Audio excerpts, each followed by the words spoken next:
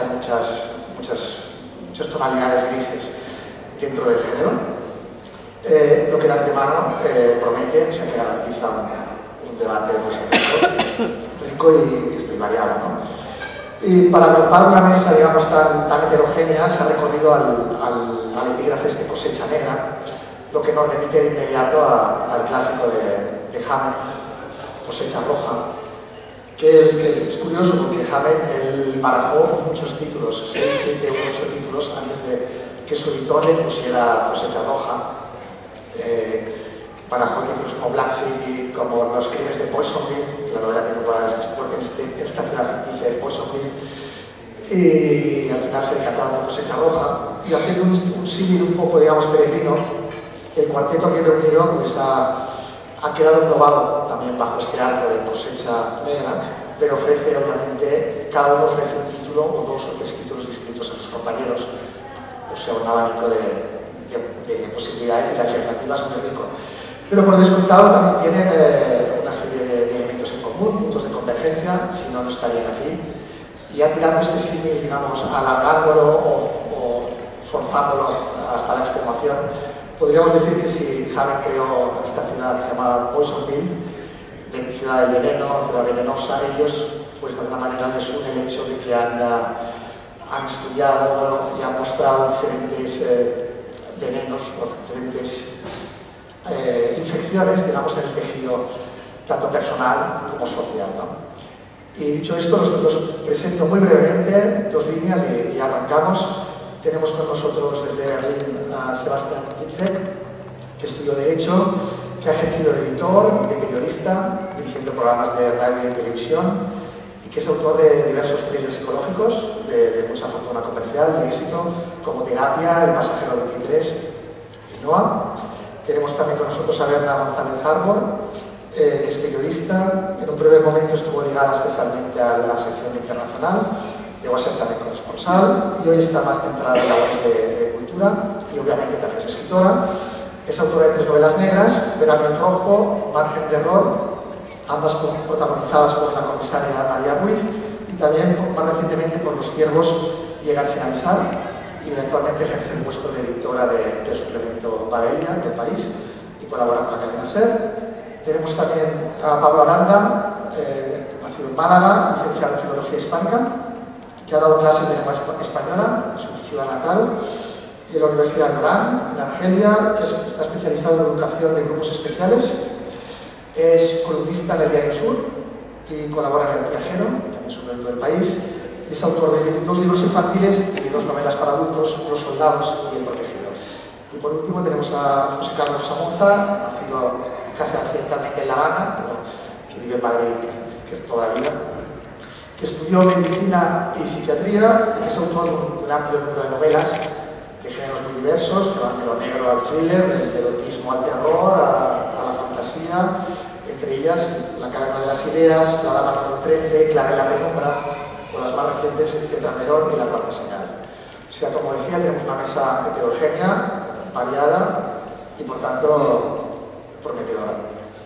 Y yo querría empezar por preguntarles una, de mis preguntas fetiches, yo soy periodista y es una pregunta que la que suelo recurrir mucho eh, cuando voy a hacer entrevistas por aquí y por allá, que es qué rasgo de nuestra personalidad fue, digamos, más determinante a la hora de abocaros a escribir novela negra o thriller, o sea, voy en busca de la semilla negra, o sea, sin qué elemento, elemento de vuestra forma de ser, probablemente, que probablemente ya hizo de aparición durante vuestra infancia o adolescencia, no estaríais hoy aquí. No sé quién quiere recoger el guante. ¿Quién es el valiente que se atreve?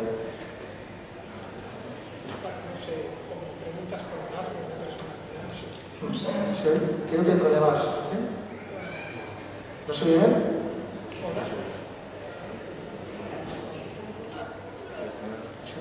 Pues tenemos que hablar como algo. Sí, las preguntas.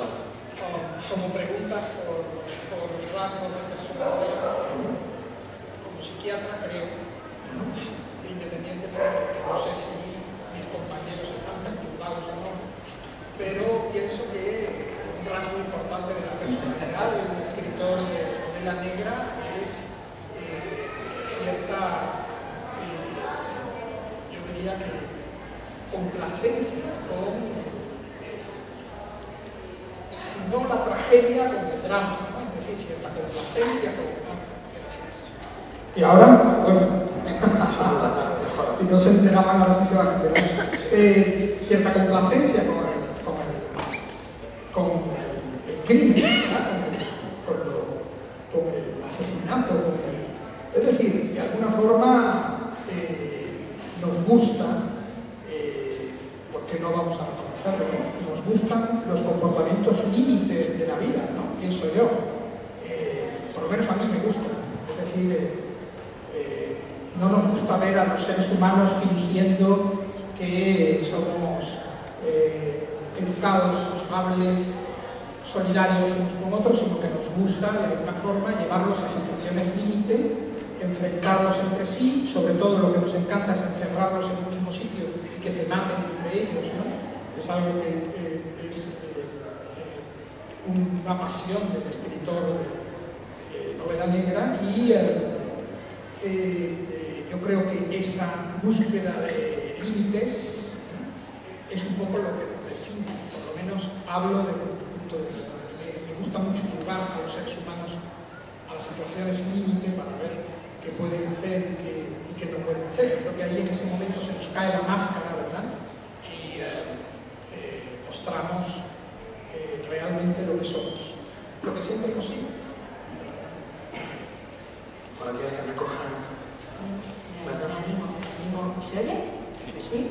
Bueno, yo supongo que yo no, no, no me siento perdonada, pero sí cobarde. O sea, yo creo que yo soy periodista, como has dicho, entonces en el periodismo estoy obligada y obviamente cumplo con rigor mi profesión que debe ser políticamente correcta, que debe ser rigurosa. Yo no puedo escribir nada como periodista, y de Dios, sin que sea verdad, sin que yo lo haya comprobado con toda la minuciosidad del mundo. Entonces, digamos que la literatura, bueno, antes de la literatura que el periodismo. La literatura está desde que naces, el periodismo lo hace, se hace, no, no naces pero digamos que de repente la literatura eclosionó como una forma de vengarme eh, donde no podía vengarme, que es una realidad, de resolver los crímenes cuando no podía resolverlos en el periodismo, de solucionar los asuntos abiertos que no puedes cerrar en el periodismo.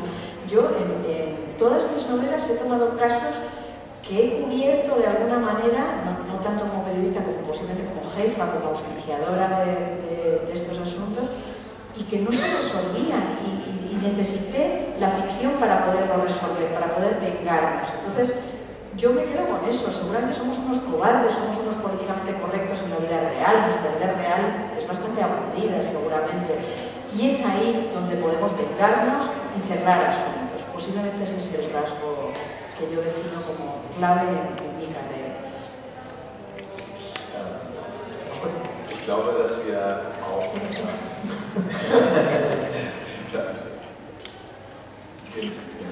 Ich glaube, dass wir nicht nur ähm,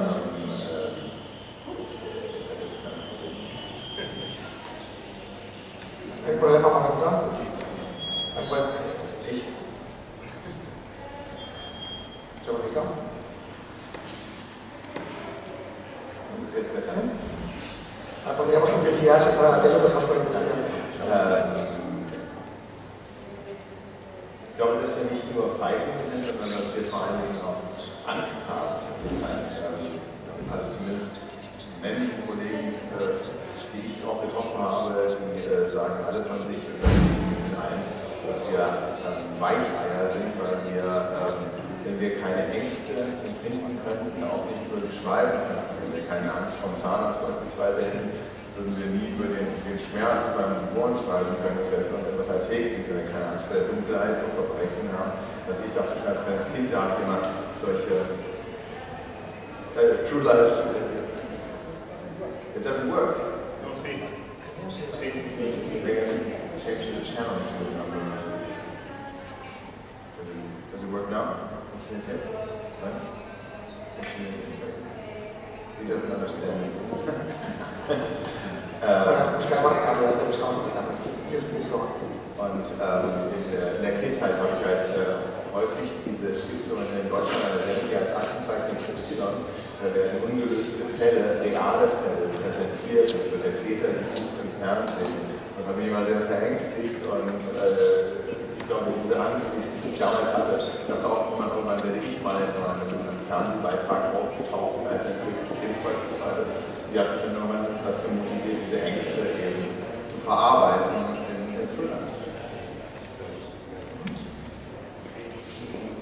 Bueno, yo estoy de acuerdo con, comparto con, mis compañeros se extraña los temores, perturbaciones y, y y añado la, curiosidad y la, y incredulidad.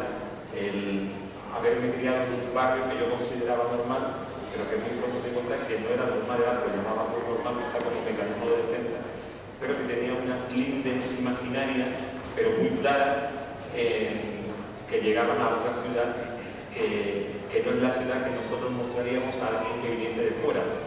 Y desde muy pronto intenté salirme del camino para dejar de desear. ¿no? Era como, por eso hablaba de incredulidad, de mm, como intentar romper esa, esa mentira que, que, que me estaban inculcando.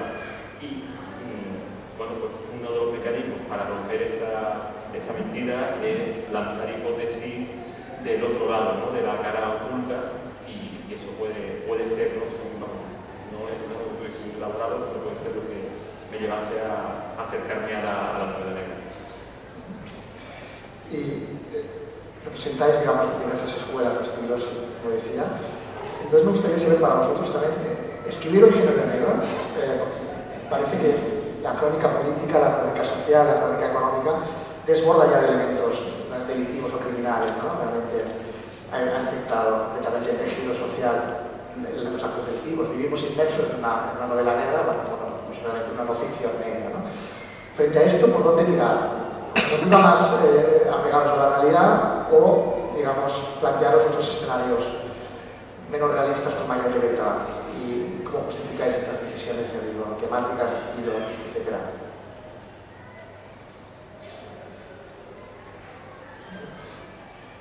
Also ich, ich denke, ähm, es gibt zu viel Gewalt und zu viel verstörende Bilder, mit denen wir konfrontiert werden. Ähm, wir können sie kaum noch ähm, verarbeiten.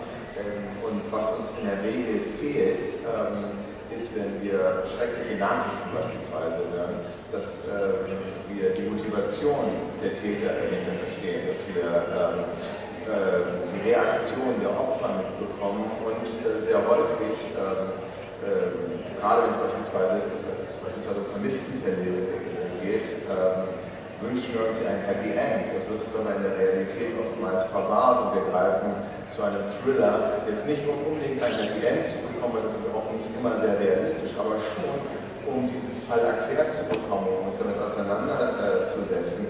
Ähm, und, so glaube ich, dass ähm, gerade die Fülle von schrecklichen Nachrichten ähm, eher dazu führt, dass nicht nur mehr Autoren Thriller schreiben und sondern dass auch mehr Leser dieses Genre konsumieren.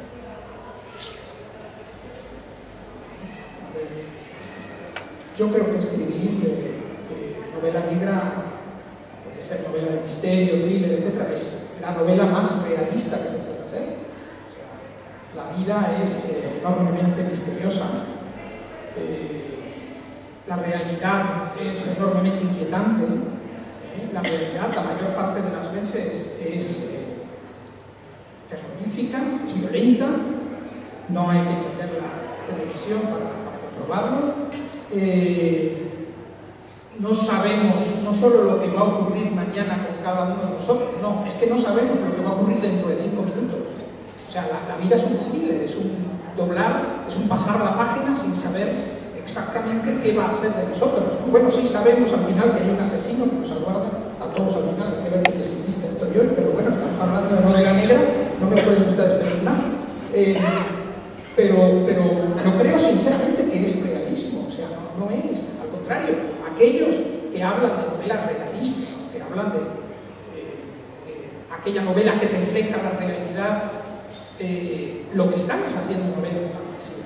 yo pienso que el thriller, el misterio, suspense, la, novela, por lo tanto, que se puede incorporar dentro de esa eh, etiqueta tan vaga como es negra, eh, refleja profundamente la realidad, por lo cual yo me siento un escritor realista.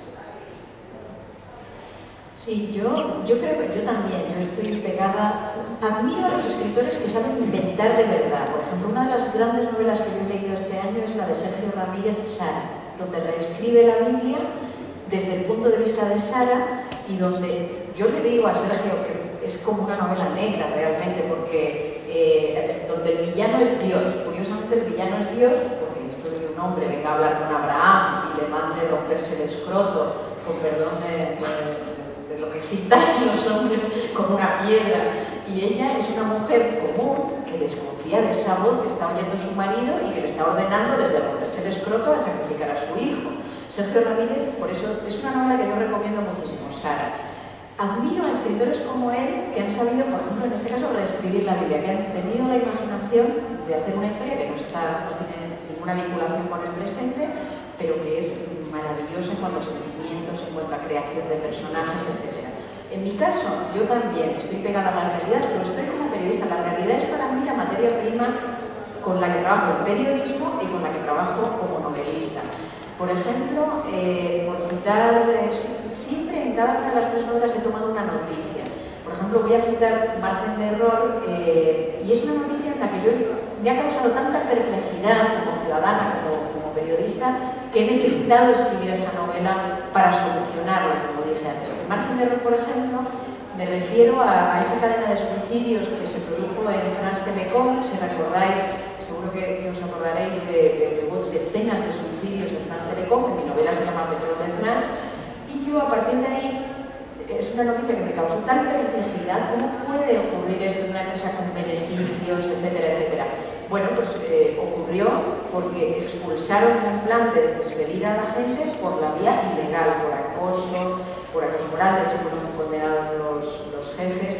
Y bueno, la novela se, transforma en algo completamente distinto, pero sí, a partir de una novela negra como esta, como las vuestras, como cualquiera de nosotros, yo creo que se puede hacer un mapa del mundo absolutamente político, absolutamente social. Es decir, si tú vas leyendo a Santiago Roncaliolo sobre la Operación Cóndor en Perú, eh, descubres cómo eran las relaciones entre las, dictaduras latinoamericanas del Cono Sur en esos años 70, etc.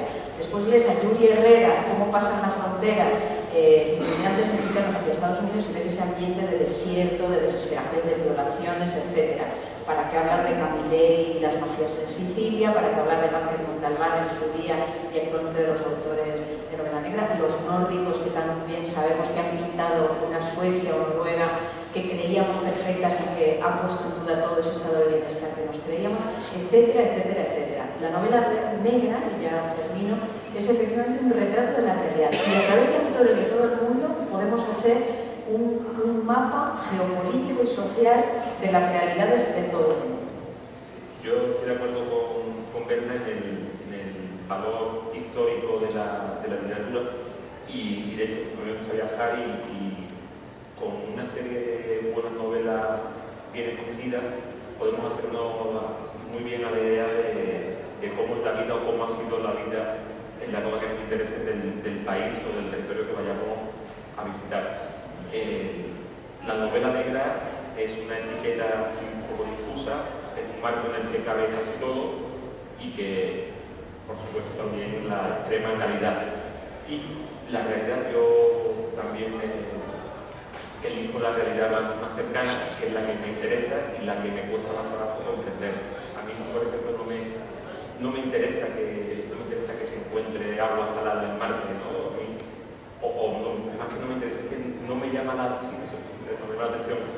Lo que realmente me impresiona es que en el mismo momento en que se encuentra agua salada en Marte mm, haya un porcentaje altísimo eh, poblado este territorio sin acceso al agua corriente, ¿no? Es decir, eso es lo, que se canto. Y, y no hay que irse a otro continente, ¿no? Me gustaría tirar un poco más del hilo del periodismo, del que Berna ya nos ha hablado un poco. Todos o prácticamente todos tenéis experiencias pasadas, presentes como periodistas, bien escribiendo, bien coordinando. Me gustaría saber con un poco más en profundidad de qué manera se filtran, si lo hacen, el periodismo, en vuestra obra, si os hace mejores, si os hace más perfeccionistas, más cautos, eh, más comprometidos. Si es que hay una incidencia, obviamente, en en vuestras ficciones. Sí, yo creo que nos hace mejores, porque gracias al periodismo, bueno, todo por mí, por supuesto, aprendemos a manejar el idioma, a manejar el español, y es esa gran materia prima. Yo siempre digo que tengo dos materias primas que comparten mis dos aficiones, mis dos vocaciones, la palabra y la realidad. De la realidad hemos hablado, la palabra es esta otra.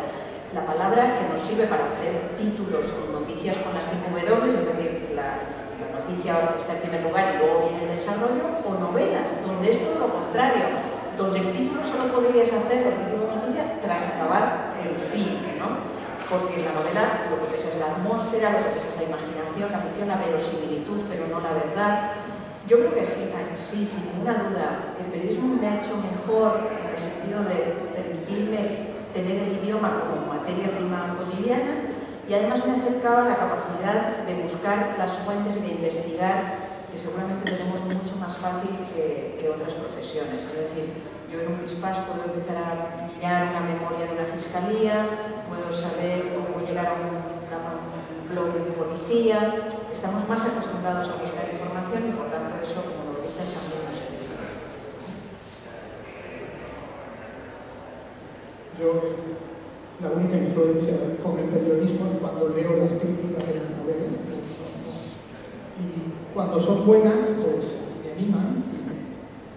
Y, cuando son malas, pues eh, también me animan, porque yo creo que son...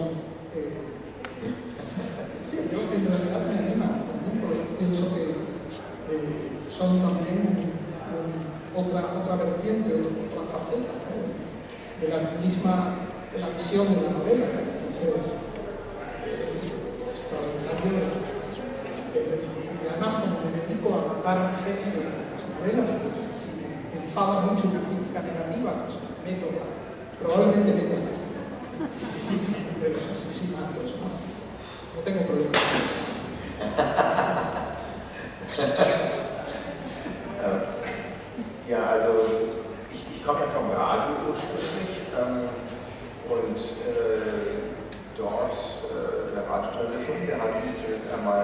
Recherche gelehrt. Wir suchen ja nach der Wahrheit, wir suchen auch nach, äh, nach Fällen, wenn man so will. Äh, und das ist natürlich zu wissen, wo etwas steht, wo man etwas findet, wie man den Dingen auf den Grund geht. Das hat man im, im Volontariat gelernt und ähm, das hilft mir natürlich jetzt auch für die Recherche bei meinen Büchern. Radiojournalismus speziell.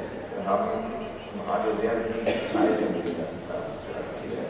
Also ich weiß nicht, wie das in Spanien ist, aber in Deutschland ähm, äh, sofort äh, der, der, der, Zuhörer gibt dem Moderator ein, zwei, drei Sätze und ist dann sofort beim nächsten, wenn ihm das irgendwie nicht gefällt oder nicht schafft, ihn zu packen. Und ähm, eine ähnliche Entwicklung haben wir auch im Buchbereich. Wenn die ersten also manche sagen, ich gebe dem Autor 10 Seiten oder 50 Seiten, manche sagen, er beschreibt mich noch im Laden anhand der ersten Sätze, ob ich das mag oder nicht. Wir müssen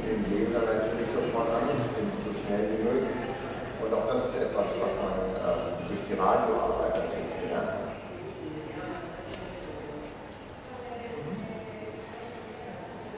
Tenía una pregunta en concreto para Sebastián, ¿sí? que, es, que el thriller eh, hecho en Alemania, el thriller alemán parece que no, no, nos llega mucho, no tiene una capacidad de exportación como, como la anglosajón, eh, si me equivoco, que me corrija. No sé si hay, alguna característica que defina al thriller eh, de sus compatriotas de los que usted huido de cara a, digamos, a, explotar mejor comercialmente, tener más éxito internacional. Hay algunos rasgos de los que ha querido huir para hacerlo más asequible a un público europeo en general. Y para el resto de la mesa, eh, hablando de otras literaturas, ¿qué envidiáis un poco del modo en que otras que otra literatura se aproxima al género negro o al thriller, que exportaríais gustosamente de lo que veis, tanto a nivel de, de, de tramas, de estilos, como de mundo editorial, ¿eh? también de forma de, promocionar los libros, los festivales que se organizan, todo lo que de fuera que envuelve al mundo del cine y del género negro, nos gustaría verlo en las redes eh, aquí locales. Podemos empezar por Also, es war lange Zeit nicht sehr angesagt, ähm, dass man als Deutscher einen deutschen Krimi-Thriller aufwänzt. Äh, die Deutschen haben, wenn man damals in den 80ern auch an 1990 auf die Bestsellerliste geguckt hat, dann waren die eben bevölkert halt von äh, englischsprachigen Autoren, manchmal französisch, auch die Skandinavier kamen dann verstärkt mit äh, dem äh, Manquet, dem Wallander Krimis. Ähm, und es, es, gab so eine, eine Haltung, auch geprägt äh, das Feuilleton, dass jemand, der nur Krimi schreibt, also in erster Linie unterhalten will, dass das äh, keine Literatur ist, besprechen will. Und das hat die Autoren konditioniert, auch gar nicht erst in dieser Richtung zu schreiben. Ähm, das war eigentlich verpönt. Das ist jetzt immer mehr und mehr aufgebrochen. In den letzten zehn Jahren hat sich das komplett geändert. Wenn man jetzt in die Buchhandlung geht und äh, sich die Bestsellerlisten ansieht, dann zumindest die Hälfte der Spannungsautoren sind deutsche Autoren, was vielleicht im eigenen Land normal sein sollte, ist aber lange Zeit nicht wahr. Damit einhergeht auch, dass so ein Krimi-Boom entstanden ist, dass jetzt auf alles, was in irgendeiner Art und Weise ein Verbrechen, Mord, Totschlag oder vielleicht nur ein bisschen Blut hat, dass da sofort der Stempel Krimi drauf gemacht wird, weil sich das eben besser verkauft, äh, sodass es ganz schwierig ist zu sagen, wovon, wovon reden wir denn äh, da überhaupt. Ähm, sehr stark und sehr hoch im Kurs stehen derzeit sogenannte Regionalkrimis, die in ganz speziellen Regionen Deutschlands, nur in Bayern oder nur an der Küste spielen. Ähm, und wahrscheinlich ist das auch ein Grund, dass davon wenig im Ausland produziert wird ähm, und veröffentlicht wird, weil das natürlich ein sehr, sehr spezieller Roman ist, der hauptsächlich von den Leuten, die in dieser Region äh, gelesen wird. Ähm, der psychologische Thriller, also so wie ich wo es weniger darum geht, wer hat es getan, oder weniger um die Religion, sondern mehr um die Motivation der Täter und die Reaktion, die emotionale Reaktion der Opfer auf diese Tat. Das ist auch sehr, sehr stark im, im Kommen und das sind dann auch die Thriller, die international übersetzt äh, werden, weil ähm, hier man nicht speziell Menschen einer bestimmten Region anspricht, sondern eben alle die eine Psyche haben, alle, die eine Seele haben. Und ich hoffe, das sind einige in der Welt. Y vosotros, repito que os gustaría exportar de otras literaturas que dan libros negro, ¿tienen algo que... De, la literatura del mercado editorial alemán, pues me gustaría que tuviésemos la, salud que tiene el, alemán. Estos días además está celebrando la feria de Frankfurt, que es la principal feria de libros posiblemente del mundo. ¿no? Nosotros tenemos este año la de Guadalajara, en México, pero creo que, que a nivel europeo todos tenemos que estar, deberíamos estar, o ojalá estuviésemos en la, en la feria de, de Frankfurt directado directamente. Y, y bueno, creo que no, que en cuanto a la calidad literaria, no hay que envidiar, ¿no? Aquí tenemos tanto buenos escritores y malos escritores como en otros lugares. Sí, yo en cuanto al, más que mercado, yo lo que miro es las políticas culturales. Eh, si estuviéramos en Alemania, ustedes habrían pagado 10 euros por entrar. Por eso en España es impensable. Pero si estuviéramos en, la feria de Guadalajara que has citado en México, mexicanos con un salario bajísimo, comparablemente más bajo que nosotros, también estarían pagando por entrar en la feria de Guadalajara. Y, y, uno dice, pero ¿cómo en Guadalajara, México, hay esta cultura de apoyo a los escritores que no tenemos en España? Bueno, pues yo lo achaco a las políticas culturales. Es verdad que en España leemos poco y no os lo quiero decir a vosotros, por Dios, porque esto es como en misa, que el cura echa la bronca a los que vienen, y seguro que vosotros sois unos excelentísimos lectores, sino que por eso voy a la política cultural. ¿Cómo, cómo, ¿Por qué en Guadalajara, México, si van brilladas de gente con los bebés? Yo he visto señoras con los bebés aquí, con un chal, entrando a, y jóvenes con sus mochilas entrando a la, feria. ¿Por qué? Porque la feria los festivales no son trabajo de una semana, son trabajo de un año, en la que tú, junto con los educadores y los animadores culturales de las bibliotecas, de los colegios, etc., estás trabajando en libros concretos, estás trabajando el amor a autores concretos, estás trabajando que esos estudiantes o adultos que van a bibliotecas públicas, cuando lleguen esos autores, saben los que les quieren preguntar, saben si quieren que les firme un libro, porque se ha trabajado con amor, con cuidado, con dedicación. En fin, no sigo hablando porque veréis mi envidia con esto. El problema es de política cultural en España y de una política cultural culpa de todos los partidos y de décadas. Llevamos décadas de retraso. Y para eso la solución solo es unir el trabajo cultural con el trabajo de la educación y de las bibliotecas. Es la única forma de generar ese tejido que acoja favorablemente a los autores. Eso, eso es verdad, eso es cierto. El español en general de acuerdo todos pero tengo que decir que no envidio absolutamente nada del mundo anglosajón eh, de thrillers, de novela negra, por una razón muy sencilla. Eh, eh, el mundo anglosajón de novela negra es un mundo muy encasillador. Es decir, a escritores, por ejemplo, como, yo, yo llevo 18, eh, 19 novelas publicadas, todas son de misterio, cierta medida. Eh, varias han publicado en Estados Unidos, en Inglaterra, pero eh, son todas muy diferentes entre sí. O sea, yo comencé un poco destacar por la verdad de las ideas, que es un thriller histórico, imagínense ustedes, vino muy clara en la que es sobre arte moderno, también thriller, pero sobre arte moderno, zigzag sobre física cuántica, imagínense, eh, eh, y eh, las últimas, cuarta señal sobre el mundo virtual y la última de todas, Probatoa, que acaba de salir hace unos días, es casi, casi se podría decir una novela de terror. Entonces, con un historial así, es muy difícil, muy difícil llegar a determinados públicos, en este caso me refiero al público anglosajón. Curiosamente, el público hispano no es así.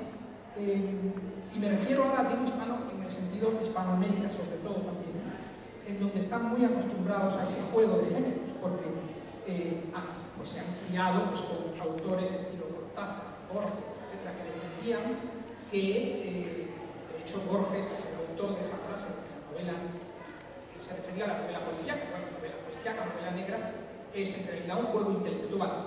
Es decir, eh, puede, puede, mezclarse con cualquier cosa.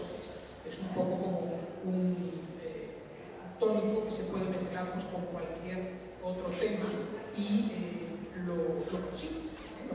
Sin embargo, el público anglosajón, el mercado anglosajón de novelas, ya me refiero completamente a Alemania, desde luego sí, en Estados Unidos y Inglaterra, por cierto, Estados Unidos es el país que uno siempre se refiere como referente de la novela negra, y sin embargo es un público muy encasillado. Es decir, si tú eres autor de novela negra, tienes que escribir novela negra, que para ellos significa pues, eso, policías, eh, asesinatos, crímenes, es decir, un cierto, por decirlo así, una cierta área de marcación y de especificación, que yo creo que aquí, eh, pues afortunadamente, como que nos quedamos un poquito más libres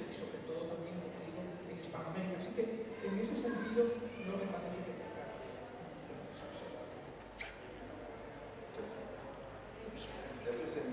In, Deutschland ist das tatsächlich ähnlich. Ähm, das liegt aber unter anderem auch an den Verlagen. Also es ist, ich kenne einige Autoren, Kollegen, ähm, die gesagt haben, ich mache jetzt mal einen vierten Serienkiller-Roman und ich würde eigentlich gerne mal was anderes schreiben oder sagen, ja nicht und äh, der Verlag sagt, das verkauft sich zwar schon gar nicht mehr so gut, der vierte Band wie der erste, aber immerhin die Leute wissen, was sie bekommen und bleibt dabei, das ist ein, ein sicheres äh, ein sicherer Weg. Und ähm, in der Tat ist das ähm, auf der einen Seite, wenn man auch den, den Leser fragen würde, wenn er ein, ein Buch liest, meistens sind es die Bücher, die er liest, wo er eine ganz andere Erwartungshaltung hat, wo er dazugegriffen hat und wo er dann der Leser dann merkt, ach, ich habe ja gar nicht damit gerechnet, dass ich dieses Leseerlebnis habe. Das sind die Bücher, die so faszinieren, dass der Leser sofort wieder in die Buchhandlung geht. Und dann einen Fehler macht, im Übrigen, indem er sagt, ich möchte genau sowas nochmal. Tatsächlich möchte er genau was anderes nochmal haben, weil es ja das Besondere war, was ihm dieses Leseerlebnis hat. Aber es ist eben auch ein Reflex des Lesers, auch erst einmal Abstand zu halten. Denn jetzt, ähm, ähm, bei mir, ich kriege manchmal Zuschriften von wegen, die sagen, Noah, dein Buch unterscheidet sich ja wahnsinnig von meinem ersten Therapie. Das äh, äh eine klaustrophorisch, das andere auf der ganzen Welt gespielt. Und ich kann immer nur sagen, ja, das, das liegt aber daran, dass ich von der Geschichte komme und keine Fließbandproduktion äh, machen kann, äh, keine Auftragsarbeit. Autoren in Deutschland werden aber, wenn sie einmal Erfolg mit etwas hatten, darauf konditioniert, möglichst immer dabei zu bleiben. Und man braucht sehr viel Selbstbewusstsein, um zu sagen, nee, das mache ich trotzdem, selbst wenn der Verlag sagt, ähm, das promoten wir aber.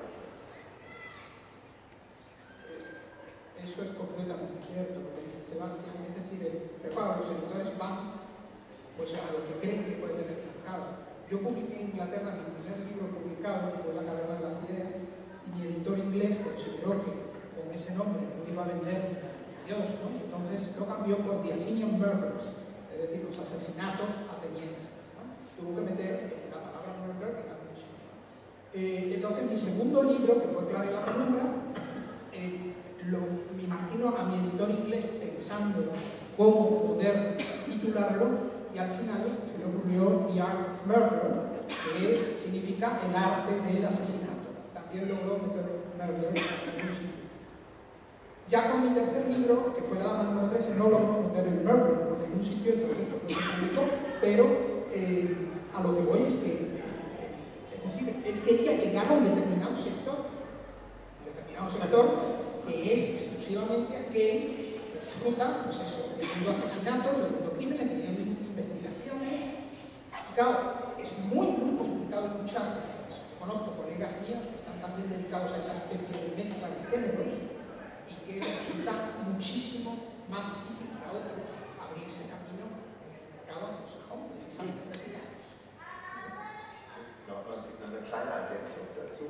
Ähm, eine gute Bekannte von mir musste, äh, eine gute Bekannte musste gerade ihren Namen ändern, um in den USA verlegt zu werden. Das heißt, die haben mir gesagt, mit dem Nachnamen äh, kann man nicht, äh, wirklich keiner lesen in den USA. Wenn ich jetzt mal Archer, weil Archer weiß, was, man, äh, was das für ein Name ist. Also soweit ging es wahrscheinlich noch nicht, hoffentlich, dass du das deinen Nachnamen heißt in den USA. No, en el caso de Somoza es un apellido que todos los vamos, un sueño de alguna manera. Suena mal, ¿no? Bueno, Digo por cómo se explicar a usted. Por lo has, te lo has arreglado, lo has lavado.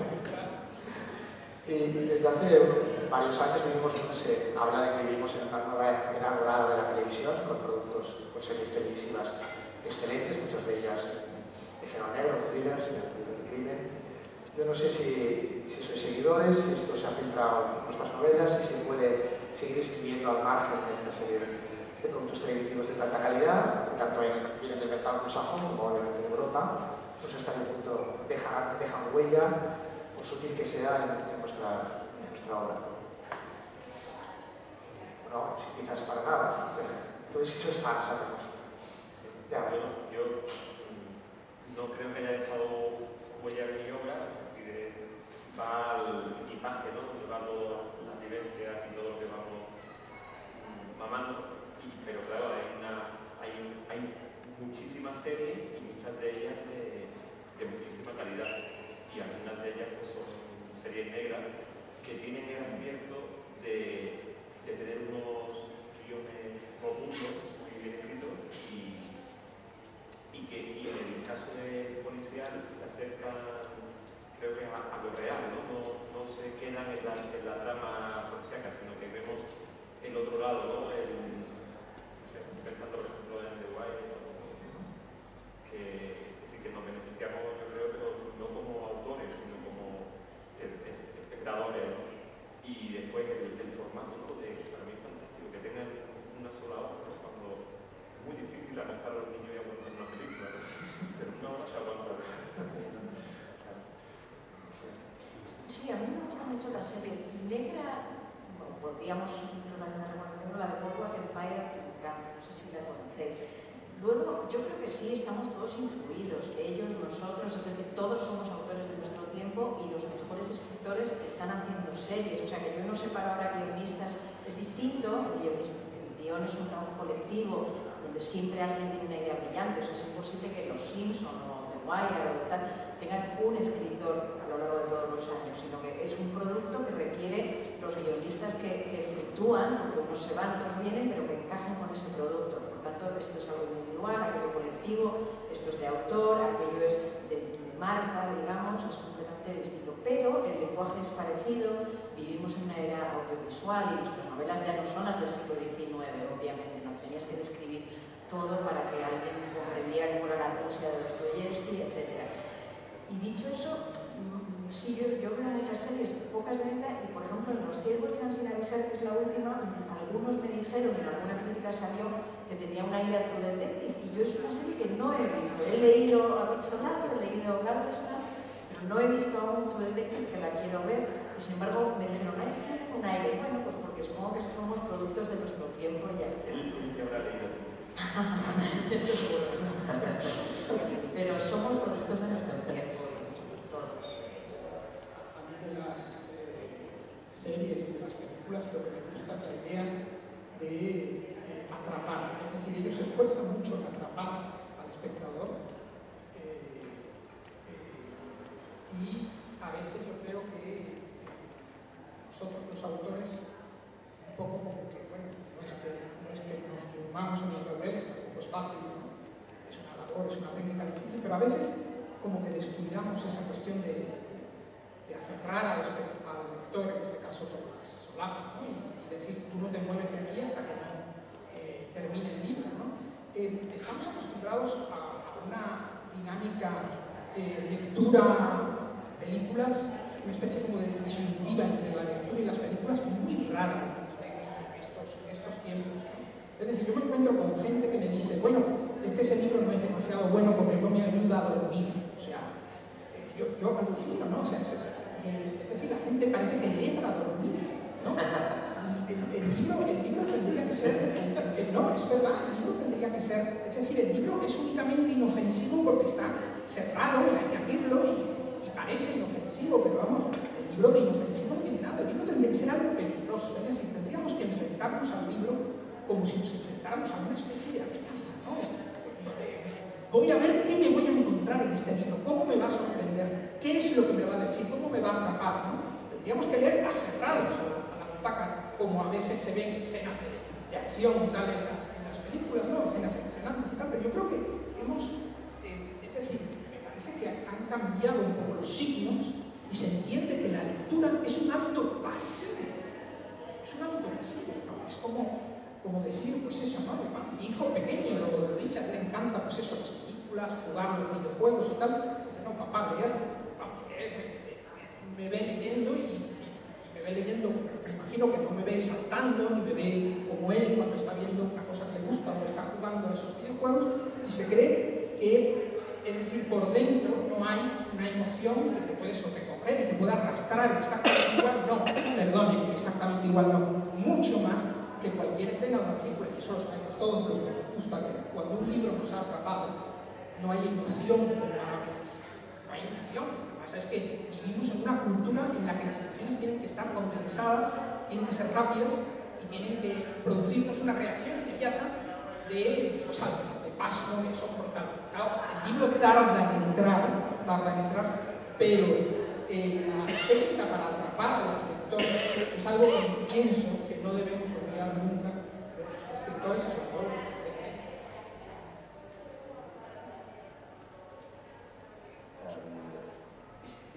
Tatsächlich haben mich Serien sehr beeinflusst. Ich würde aber mittlerweile äh, so weit gehen, dass ähm, wir Autoren Thriller-Autoren, ähm, das serielle Fernsehen beeinflusst haben. Ähm, es war ja früher so, also, dass ähm, wenn ein Buch adaptiert wurde für, fürs Fernsehen, für einen Kinofilm, dann waren das 90, wenn man Glück hatte, 120 Minuten.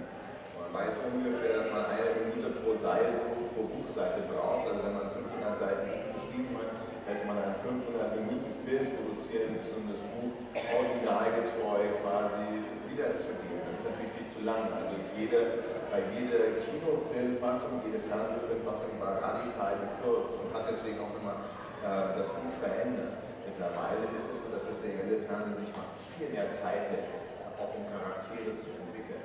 True Detective beispielsweise, äh, eine hervorragende Serie, kann ich nur ans Herz legen. Das ist eher ein, ein Hörbuch wenn man so also mit Bildern. Man, man hört Matthew McConaughey zu, der Monologe äh, erzählt, die also natürlich druckreif sind, sie wurden ja auch geschrieben, aber sie sind äh, packend, sind sehr, sehr, sehr düster. Man hat in dem seriellen Fernsehen jetzt kein Problem mehr damit, ähm, negative Figuren zu erzielen. Als mein erstes gute Therapie hat das wusste ich damals gar nicht, kam einer vom Fernsehen und sagte, ich würde es furchtbar gerne verfilmen, aber du hast eine negative Hauptfigur, die sich als Täter entpuppt, die innere Konflikte hat.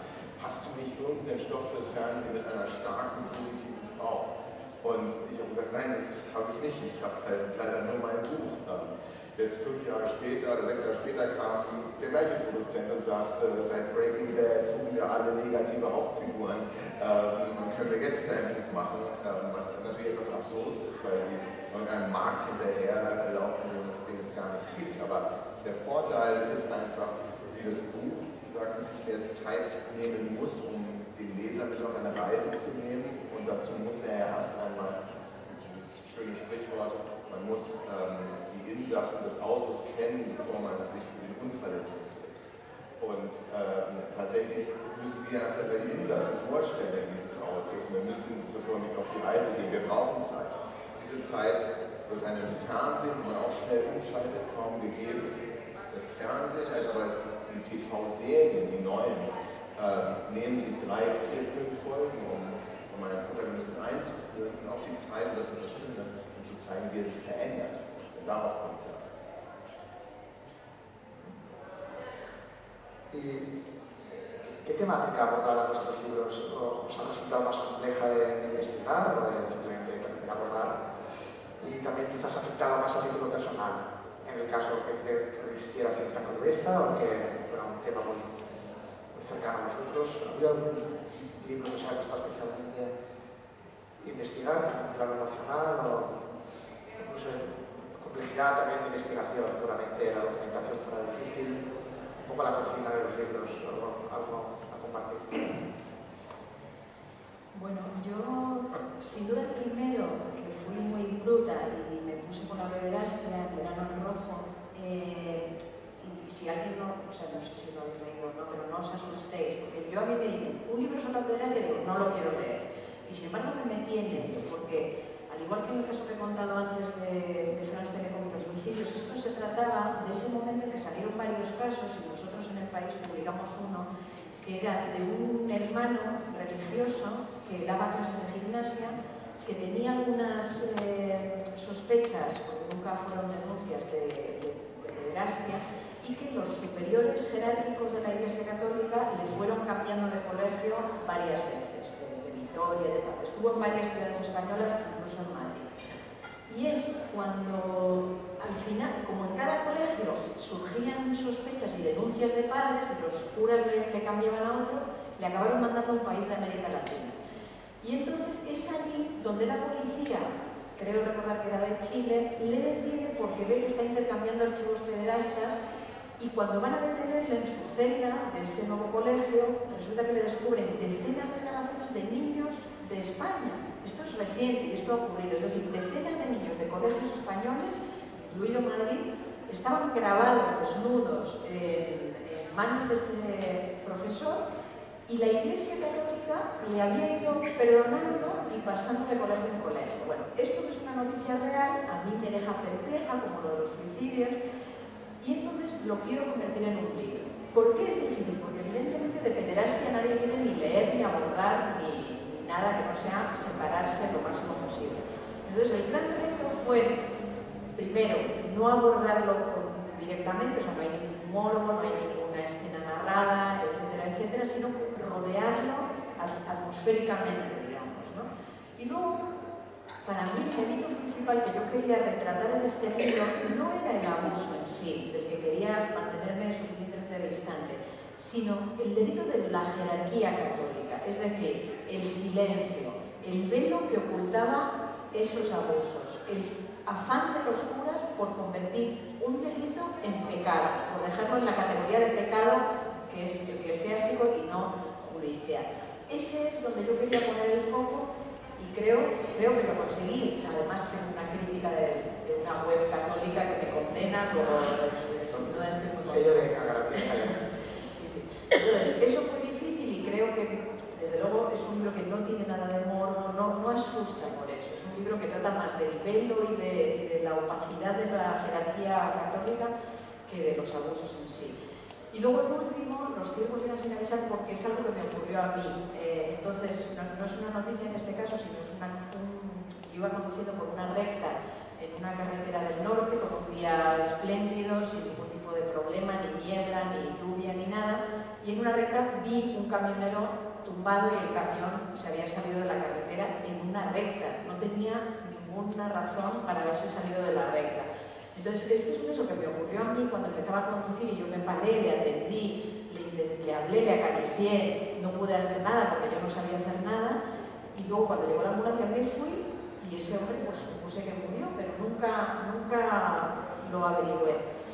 Y entonces eso me, regresaba siempre, siempre, hasta que lo resolví en una novela. ¿no? Por eso decía lo cobardes que somos, que en vez a buscar a ese camionero pobre, joven, que era guapísimo y esbelto, o sea, no, no esbelto, digo, era fortachón, pero tenía un aspecto muy noble, y en vez de averiguarlo de verdad, e ir a buscar a esa familia y decirles, yo le hablé, yo le acaricié, por si les sirve de consuelo, eh, nunca lo hice, y lo hice solo en el. Entonces han sido las dos mayores dificultades que tenemos. Bueno, yo no he tenido que investigar apenas en, en mis novelas y para escribir la novela, entre otras cosas, el proceso de investigación no es algo que me atraiga especialmente, pero sí una novela que se llama Ucrania, que ocupaba de una, de una inmigrante que, que, llegaba a Málaga para, para trabajar en el servicio doméstico y dejaba en Ucrania un hijo pequeño. Eso es caso muy frecuente, igual que a lo mejor en Madrid la mayoría de inmigrantes eran de cuatro, no sé, cuando diciendo hace unos años, eran ecuatorianos sobre todo, pues mala un, un aluvión de, llegada de, de ucranianos, casi todos mujeres ucranianas. Entonces, pues, bueno, no me costó, bueno, no fue algo especialmente difícil, pero sí que, que me entrevisté con 10 o 12 eh, ucranianas, más que para trasladar su novela, que no lo hice sí para, para crear la atmósfera, es decir, una atmósfera que, que no, de la que no me ocupaba la novela, pero sí quería yo que fuese verosímil, ¿no? mi, hipótesis de meterme en el pellejo de, de una mujer ucraniana, pues que hubiese una, una base real. Entonces, bueno, más que difícil fue curioso cuando yo dije, bueno, quiero conocer una ucraniana y sabía que había muchas que no, tenían acceso directo a ninguna. Entonces, por ejemplo, cuando paseaba el perro y con gente que sus perros día al mío y tal, sacaba el tema, y vas a dar y tal, y tal, con los vecinos, no, pero ah, ¿te podrías preguntar si quieres tomar un café conmigo? Bueno, quedaba un poco mal, ¿no?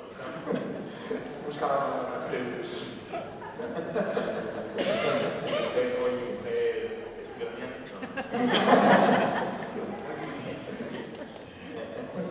es la diferencia de Pablo, la verdad es que me encanta el proceso de es para mí es una gozada. De hecho, la redacción de la novela después es casi como más, a mí me resulta poco como más deprimente, porque eh, yo lo comparo exactamente igual a un viaje, o sea, cuando uno eh, planea un viaje, eh, pues yo me imagino que nos ocurre más o menos a todos, pues claro, hay tantas posibilidades, ¿no? todas las ves ahí en el horizonte, todas son te da la impresión de que puedes hacer cualquier cosa.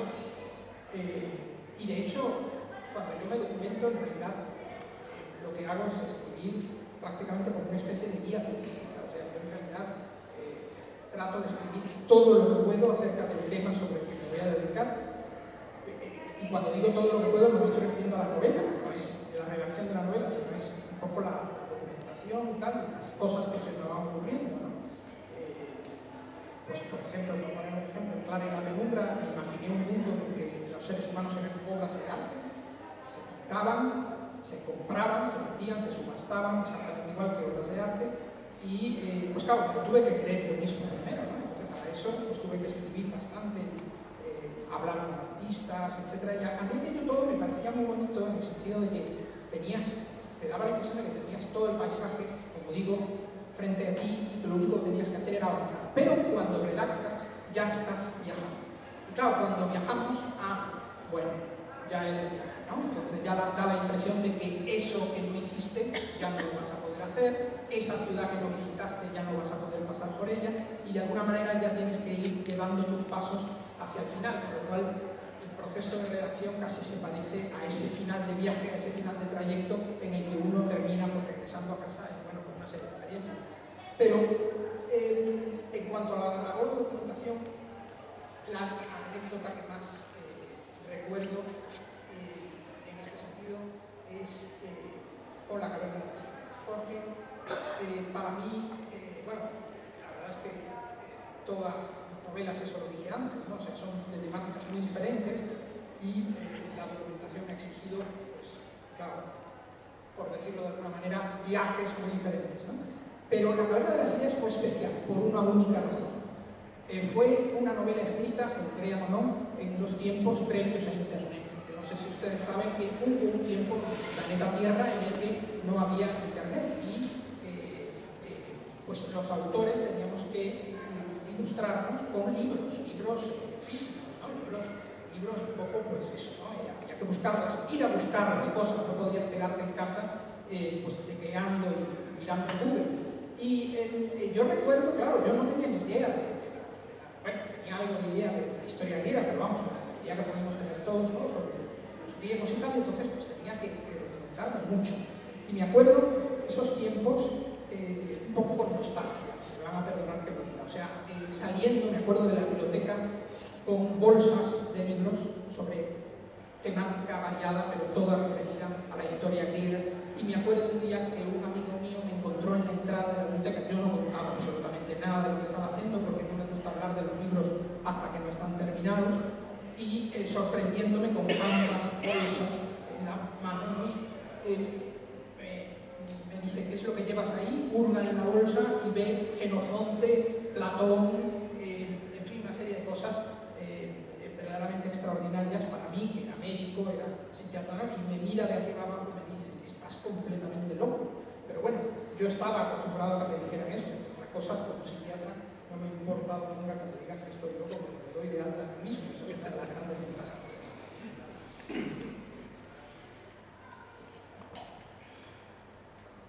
Also, ich glaube, ich hätte, also ich habe keine, mit all den Themen, die ich an, äh, meinen Werken behandle, noch nie ein Problem gehabt, äh, die zu beschreiben. Das sind sehr harte Themen.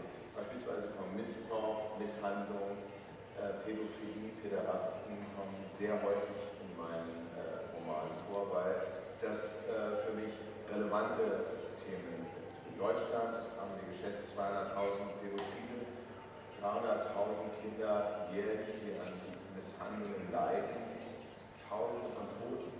Kindern, die ähm, Schreckliches durchmachen. Ähm, sofern dieses Thema für mich relevant ist, ähm, schreibe ich das auch als Familienvater, weil mich das bewegt. Für mich wäre es unglaublich schwierig, über den Mord an einer Witwe in einem Hamburger Millionärsviertel zu schreiben, der häufig im deutschen Fernsehen gezeigt wird, weil der statistisch gesehen gar nicht, gar nicht vorkommt. Ähm, und ähm, so ist Gewalt in der Familie, äh, Missbrauch und Misshandlung ein, Thema. Beispielsweise in Passagier 23 geht es um den Missbrauch von Müttern an ihre Kinder, also der sexuelle Missbrauch von Müttern an. Natürlich, und da kann ich das gut verstehen, äh, dass man sich äh, darüber Gedanken macht, also ich schildere keine expliziten Gewaltdarstellungen jetzt an Kindern, weil das auch gar nicht notwendig ist. Äh, es reicht, einen Satz zu definieren, worum es geht bei Kindesmisshandlung. Es ist aber gerade im psychologischen oder gerade wenn in der Kindheit etwas Schreckliches passiert, hat das natürlich eine enorme Auswirkung. Es ist kein Klischee, man in 90 Prozent aller Sexualstraftäter einen, äh, etwas in der Kindheit findet, was in der Kindheit Schreckliches ähm, passiert ist. Und noch ein, ein, ein äh, für mich wäre es auch eher schlimm, wenn ich nicht drüber schreiben könnte. Das ist für mich eine Form äh, der Verarbeitung. Ein guter Freund von mir ist Rechtsmediziner und ich habe den besucht in der, in der Rechtsmedizin, weil dann vom Sektionssaal, in der Nähe der war eine Kinderspielecke eingerichtet. Und ich habe gedacht, sag mal, äh, parkt ihr jetzt eure, eure Kinder zum Spielen, während ihr im Sektionssaal die Leichen öffnet? Ähm, und er sagt, nein, nein, das ist jetzt nicht für die Mitarbeiter, sondern ähm, wir Rechtsmediziner, wir arbeiten ja nicht nur mit Toten, sondern wir arbeiten auch mit lebendigen Menschen, mit anderen Worten. Da werden uns Kinder vorgeführt von den Jugendämtern, von den Kindergärtnern, von Kinderärzten oder von, Lehrern, die sagen, guckt euch bitte mal dieses Kind genauer an, das könnte sein, dass es misshandelt ist, dass es keine versehentliche Verbrennung ist, sondern dass eine Zigarette auf dem Rücken ausgedrückt wurde. Das passiert so häufig in Berlin, dass man eben diese Kinderspielecke dort eingerichtet hat, weil das eben, ja, das äh, passiert sehr, sehr häufig, dass dort Kinder hinkommen. Das ist so ein Erlebnis, äh, was mich dann sozusagen bewegt und was dann einen Einfluss mein Schreiben hat und mich eben, weil ich auch Familienvater bin, gerade zu diesen Themen äh, äh, bewegt. Wobei ich verstehen kann, wenn Menschen sagen, ich möchte davon nichts hören, bin schon gar nicht in der Unterhaltungsliteratur. Auf der einen Seite ist das aber natürlich dann genau der Deckmantel des Schweigens, den wir über diese Delikte äh, äh, stülpen, unter dem Deckmantel sich der Täter dann sehr wohl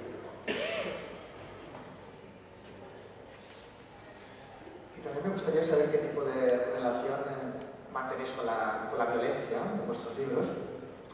Si creéis que hay cabida de una, de una violencia gráfica o, o, no está justificada, que hacer escenas muy explícitas de violencia, desagradables dudas, y que basta con la, con la sugerencia, con la, con la sutileza. ¿De qué escuela sois? contestaré yo el primero si me permitís, porque lo tengo clarísimo. Eh, no hay nada que no se pueda escribir.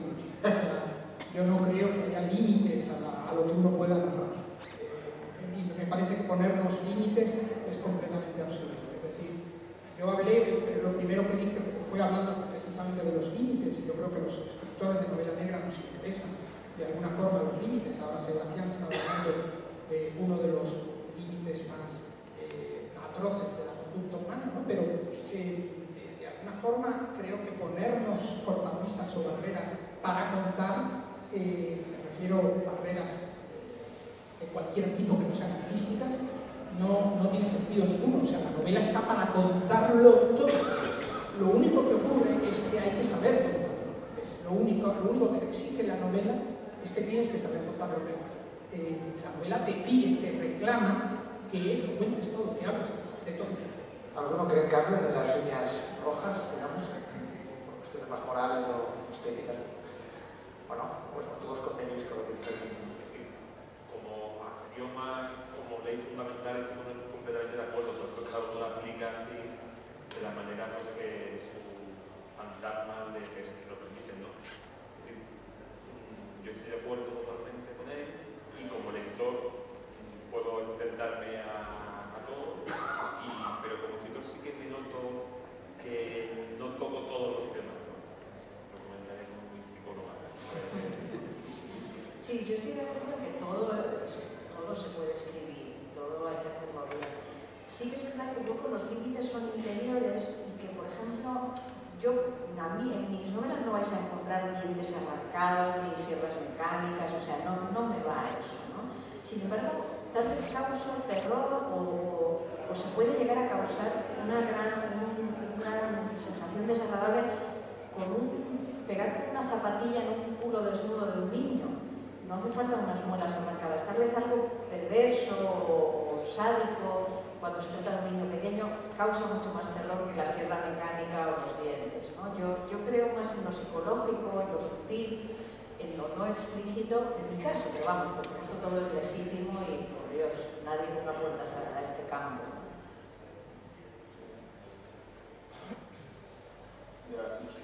Ich, denke, wenn wir sagen, dass, darüber kann alles geschrieben werden, dann muss auch jedes Thema, da gibt es keine Rubriken, die wir ausgrenzen dürfen. Das Wie liegt natürlich auch ähm, im ja, Befinden jedes Einzelnen, wie, explizit er schreiben will.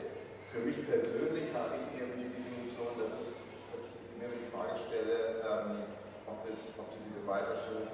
notwendig ist für die Geschichte, die ich erzählen will.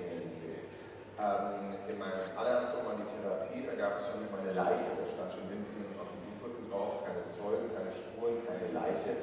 Das war also eigentlich eine Warnung an Thriller-Leser, das ist ein langweiliges Buch, da passiert nichts aber hat trotzdem äh, zum Glück ganz gut funktioniert. Ähm, das war nicht sehr gewalttätig, dieses Buch. Dann habe ich aber ein anderes Buch mit dem befreundeten Rechtsmediziner zusammengeschrieben. Ähm, da war es zunächst einmal unser Anliegen, auch eine Obduktion so realistisch wie möglich zu schildern, weil sie in dem, was wir im deutschen Fernsehen und auch bei CSI sehen, eben nichts mit der Realität zu tun hat.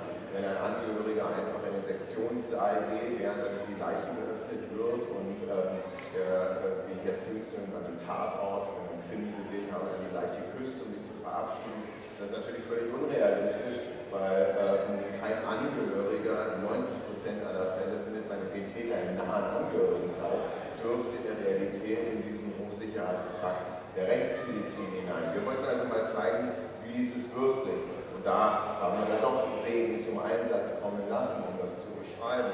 Und es ging noch ein, ein übergeordnetes Thema. In Deutschland werden Delikte wie Steuerhinterziehung äh, viel, viel härter bestraft als Kindesmissbrauch.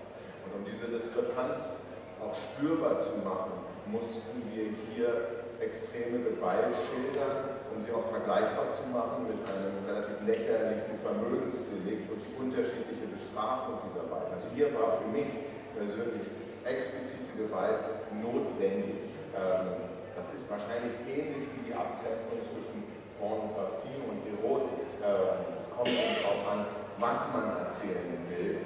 Will man nur, dass der Leser sich ekelt, das wäre mir nicht gut, das wäre für mich persönlich äh, zu wenig.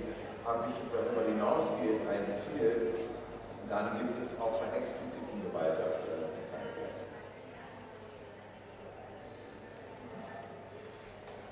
Me gustaría que me hablarais ahora de vuestra, vuestra calidad de lectores de Género eh, ¿Con qué clichés o tics os menos indulgentes iría más allá os pediría que os mojarais y me hablarais de los autores que a pesar que tengan mucha fama, mucho crédito y tal, no, no, no soportáis, no podéis con ellos. Siempre se pregunta cuáles son vuestros autores favoritos y a hacer la defensa. ¿Cuáles no podéis? ¿Qué clásicos os han atragantado? Y en general, ¿eh? sin dar nombres también, con qué a nivel estilístico, formato temático, con qué tics, ya digo, no sois menos indulgentes, no soportáis. Yo no, no me decepcioné enormemente Pierre que es un grande, que tiene enorme éxito, como es vestido de novio, ¿no? Porque le pillé el truco a la primera. No, no me cuentes, el, por favor, el final, lo estoy leyendo justo ahora. ¿En serio? No spoilers, nada spoilers. No, Bueno, no, spoilers. Bueno, pues, no empezar. Bueno, pues me decepcionó porque le pillé el truco en, en las primeras páginas y ya supe qué iba a pasar y pasó todo eso, ¿no? Entonces se, se le pilla y me pasó con algún amigo, que buen lector, que, que también pilló, entonces se me desvirtuó desde el principio y sé que es de lo más vendido, de lo más valorado, pero a mí le pillé el truco y lo siento, Pierre, ¿cómo se llama? Pierre, lo siento, I'm sorry. Pero no, entonces sí, esa es una novela no, no reciente, pero de hace un año así que la leí y ya pues no, me hace que no volveré a leer. No sé, no sé, me ocurre otro fraude, o sea, otro, vamos, no fraude, Y algo también quería ampliar a algo en general con lo que no podáis, sin ejemplos concretos, pero algo común en la, en la novela negra, que por lo que no puedas. Quizás aquí había No, no, artificiosidad. no, ¿no? las sierras mecánicas, el- no, no, no. Me, me gustan las cosas más suaves.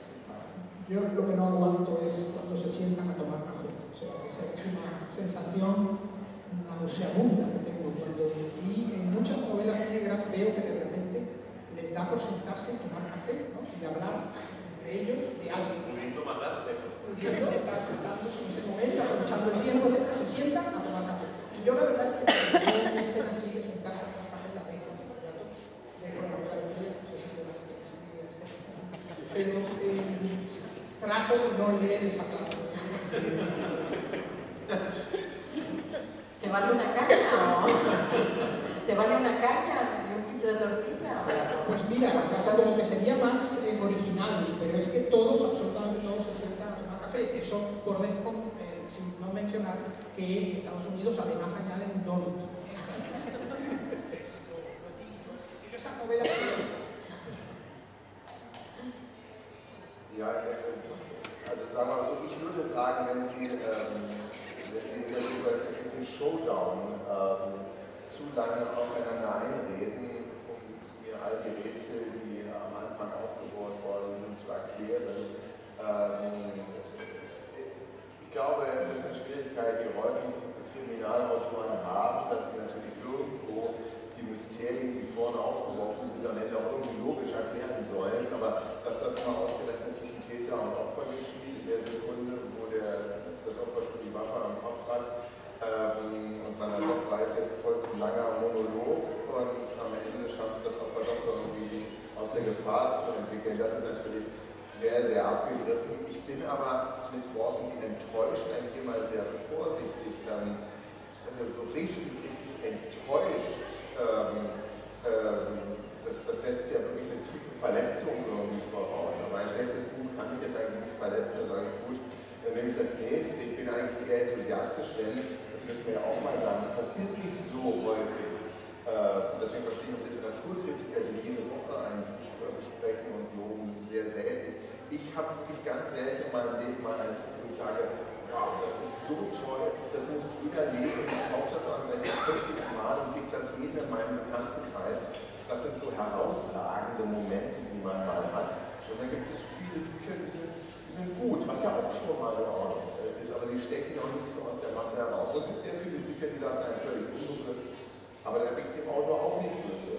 Ja, was ich enttäuscht war, ich letztens, also nicht über Shades of Grey, das ich äh, zugegebenermaßen äh, gar nicht gelesen habe, sondern nur reingelesen habe, weil es nicht mein Genre ist. Da war ich dann auch nicht enttäuscht, weil ich ich wusste ja, was ich bekomme. Ich habe die Verfilmung gesehen und war sehr enttäuscht, dass einige Frauen in meinem Umfeld das ganz toll fanden. Und äh, ich fand schon in den ersten Sekunden dieses Frauenbild, was dort gezeichnet wurde, von der Frau, die, äh, also in den ersten Sekunden des Filmes steht die Frau vor einem Hochhaus in einer amerikanischen Stadt, guckt und ist fasziniert von dem Hochhaus, als ob sie noch nie in ihrem ganzen Leben ein Hochhaus gesehen hätte. In der zweiten Sekunde steht sie in einem Büro und tut so, als ob sie noch nie in ihrem Leben ein Büro gesehen hat, was stylisch ist, obwohl jeder, der äh, irgendeine amerikanische Serie mal geguckt hat, spätestens als Sex and the City, weiß, wie so ein Büro aussieht.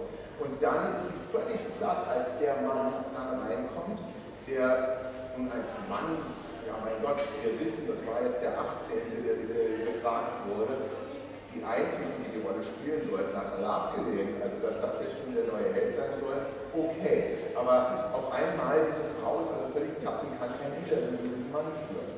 Und wenn ich mir dann beispielsweise auch meine Frau angucke und die sieht das mit großem Vergnügen, dann denke ich, also was für ein Frauenbild habt ihr denn? Und wie einfach seid ihr zu beeindrucken? Und das hat mich enttäuscht und wütend gemacht. Ich bin da wütend nach oben gegangen und habe sie alleine weitergucken.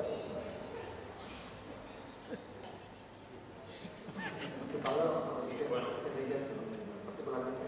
no soporto las trampas o mm, la falta de admisión artística o una, una visión artística que no coincide con, con, lo que yo espero. Pero tú tienes nombres, ¿no? Pues cargarla. Sí. Okay, yo cuando yo era chico tenía, tenía esa sensación esa sacralización del libro que una vez empezado tenía que terminarlo y no podía, aunque no me gustase, y ahora lo dejo sin ningún tipo de problema. Incluso los libros que voy metiendo en cajas para dar, a lo mejor, o para donar a la biblioteca, o para darlo, para dejarlo en algún sitio y tal. Y hay, pero hay otros que digo, este no vale ni para eso, porque no es un contenedor de papel sin problema. Y, a ver, eh, por ejemplo, uno de los eternos candidatos al Nobel no es novela negra, no, John Banville, John, Ban, John Banville, no en su, en su heterodoxia de novela negra, no, Benjamin Black, pero que de él me, me gustó mucho el libro de las pruebas y el mal. Después escribimos, es que no lo conocerá. Los infinito. Sí, los infinitos. Que me lo habían recomendado por varios docentes y, y bueno, en la página 50 lo, lo lancé a lo que y alguno más. Nosotros también tenemos poca paciencia con los libros, nos enganchan, Bueno, enseguida los abandonáis o... Yo tengo que leer tanto en mi trabajo que no, Pues que a, te que a entiendo. veces no me, no me da tiempo, no, no me da tiempo a terminar. Es, es así, pero quiero decir como, me imagino que el cocinero que no, no puede probarse todos los platos. Pero sin culpabilidad por eso, ¿no? Bueno, ¿Cómo te no, queda? hombre, pero quiero decir, cuando te has leído 100 páginas de alguien, o sea, yo, a- cuando te he oído he dicho, suerte dejarlos cuando no te gustan. Yo a veces los tengo que dejar cuando me gustan, ¿no? Y- pero quiero decir que ya das un diagnóstico, ¿no? Te lees 100 páginas de Salman Rushdie, por ejemplo, maravilloso el último nuevo de Salman Rushdie, eh, y, y- y como tengo que eh, hablar en Babelia, porque yo dirijo Babelia, que 15 libros cada semana, pues yo no puedo leer todo. Muchos me los acabo, ¿eh? o sea, muchos mm, va por temporadas, ¿no? Pero, pero hay veces que estás con las, sobre todo las novedades, y por trabajo tengo que, saltar a otra, a otra, y con eso, con 100 páginas o 50 muchas veces, dices, este es un gran libro. Pero bueno, no lo voy a decir yo, es decir, luego está en manos del entrevistador y del crítico, ¿no? Pero digamos que esto ya os estoy hablando de la cocina en un suplemento, os estoy hablando como, como, como autoras y como periodistas. Lo mismo que hago yo lo hacemos varios en el suplemento, de forma que es una red un poco de, de seguridad, que si tú tres o cuatro personas han valorado un libro, pues ya puedes tomar decisiones, aunque siempre con la prisa que te da que sea un semanario.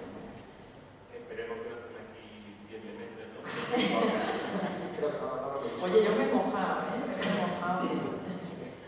Yo creo que con los libros no soy, eh, es decir, no soy, no soy feroz.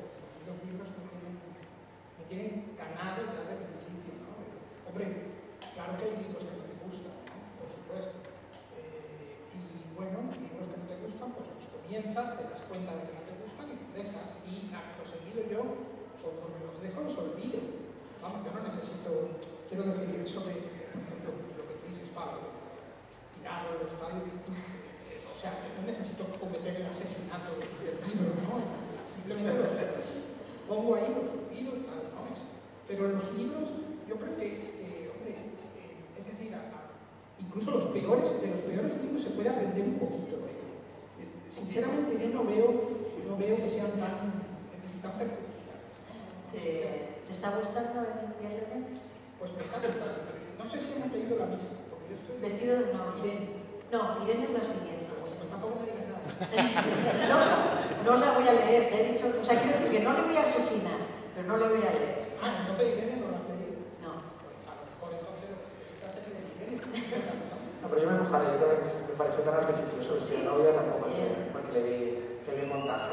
¿Viste el montaje desde el Sí, se veía la estructura profunda del libro y también, también me sacó. No sé, ¿lo va, ahí va. Y A mí me gustó.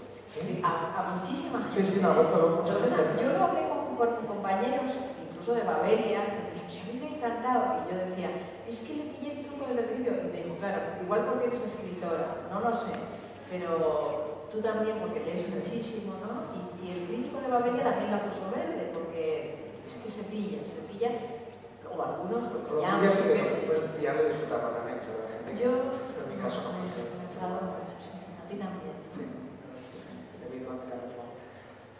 Y bueno, tenemos que ir cerrando. Yo no sé, yo no sé si algún- alguno de ustedes tiene alguna pregunta dirigir a la... Alguien que quiera contar el final de Irene. No sé, alguna pregunta o no. Yo le destripé a mi mujer la- el, final del, del asesinato de Roger Ackroyd, de Agatha Christie, no me lo perdona. Hay que tener mucho cuidado con eso. Es, es, eh, es algo muy perjudicial. Pero claro, también ustedes pregúntense, ¿cómo podemos hablar entonces de nuestros libros? O sea, son libros de misterio, a fin de cuentas, se supone que todo lo que se cuente es revelar algo.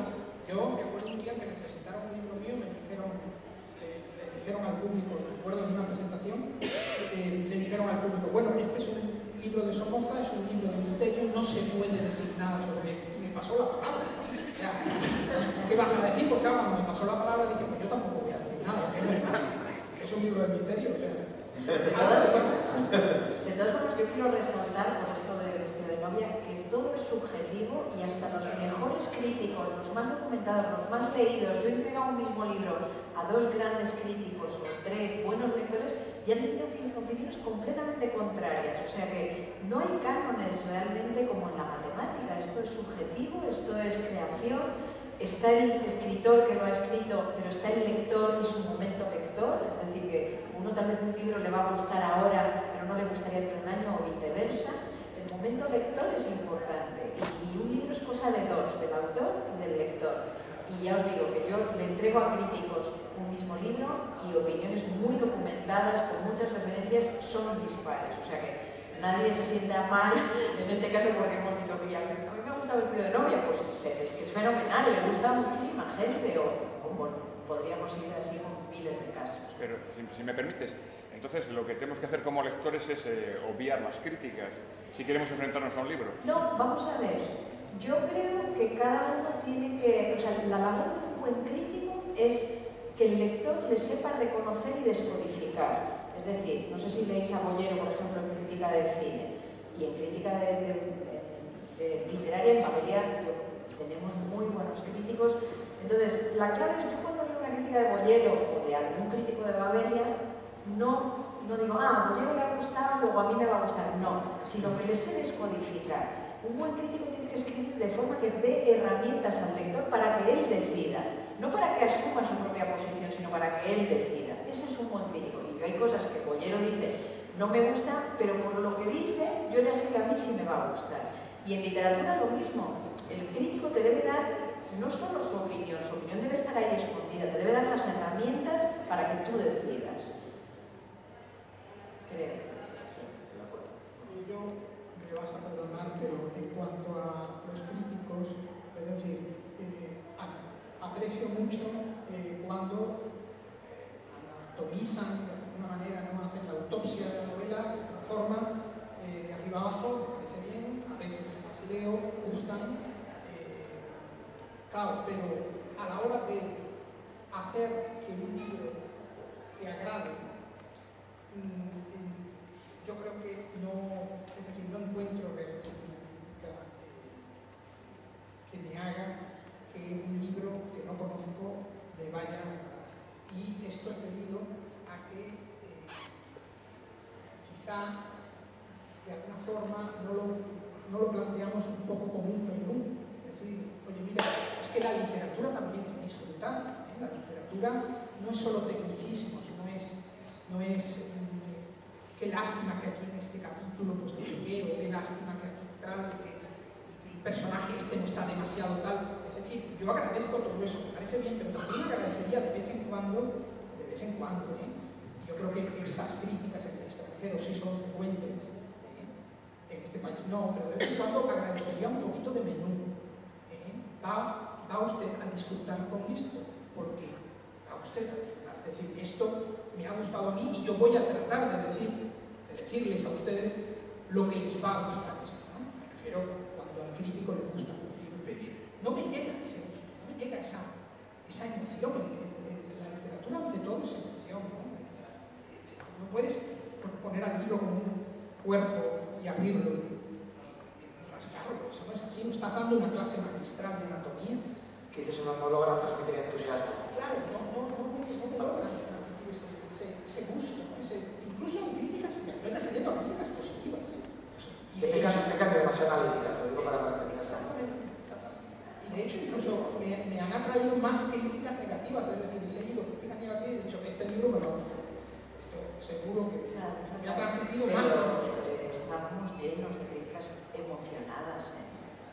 Te lo, te lo, puedo demostrar, pero no es el caso. Necesitaríamos otra mesa. Bueno, que viene podemos montar una mesa sobre crítica. No. Bueno, no sé si ustedes ya digo, no, si no hay ninguna cuestión por su parte, no sé si vosotros queréis hacer alguna parte más, algún comentario más.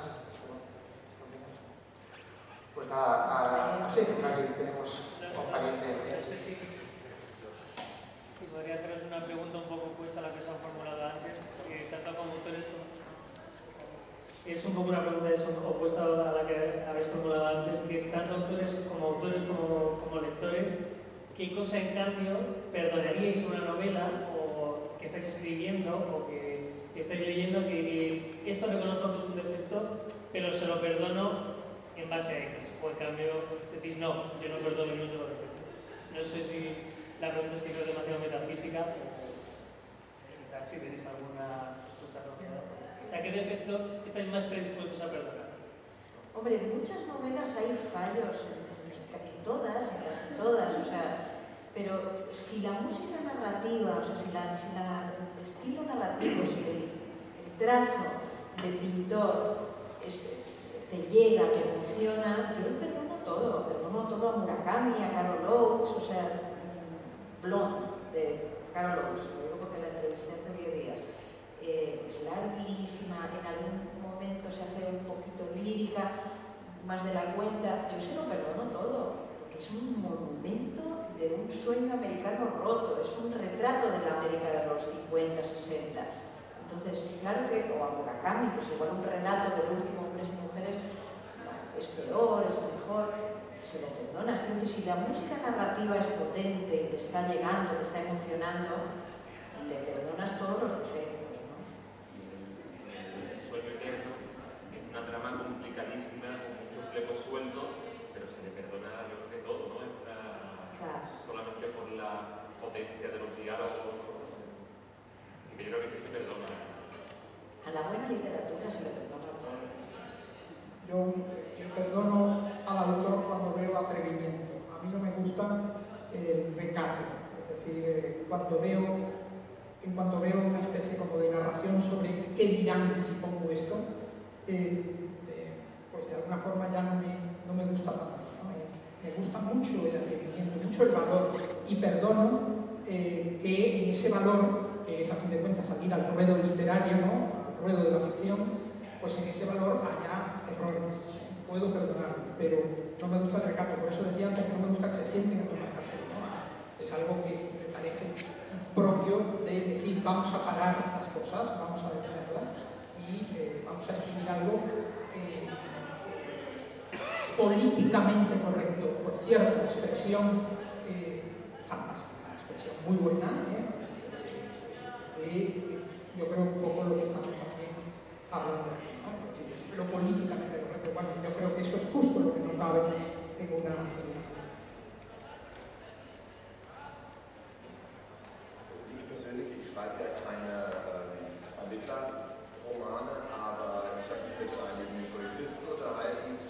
Ähm, wie reagieren, wenn sie Ermittlungsfehler finden. Also wenn sie beispielsweise ihren Polizeialltag nicht original wiedergegeben finden. Oder auch Rechtsmediziner, wenn sie eben ähm, irgendetwas lesen, was jetzt nicht hundertprozentig akkurat ist, ähm, was aber für den Fall an sich jetzt keinen Ausschlag gibt, sondern wo man merkt, die Unterhaltung wurde, also die Realität wurde etwas verändert, weil es einfach unterhaltender äh, ist. Und die meisten Polizisten sagen, es ist uns völlig egal, wir mögen das trotzdem. Ähm, und auch ich, vom Radio, wenn ich merke, dass ein Radiostudio jetzt nicht hundertprozentig nach diesen Abläufen arbeitet. Beispielsweise gibt es einen, einen Roman, da kriegt derjenige wöchentlich Einschaltquoten. In Deutschland gibt es aber nur zweimal im Jahr Einschaltquoten fürs Radio.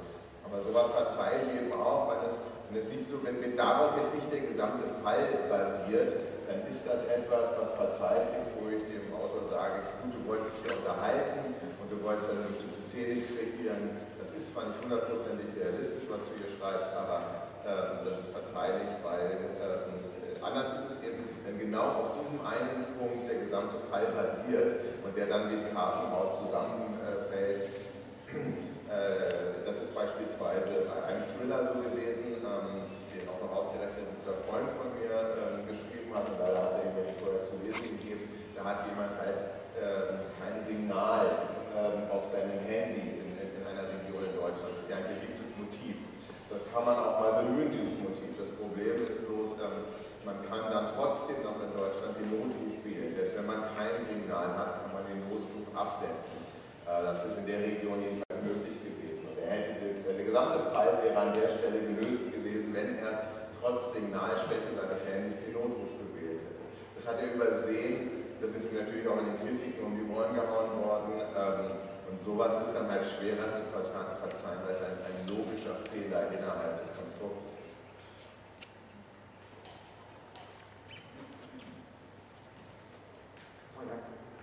¿Alguna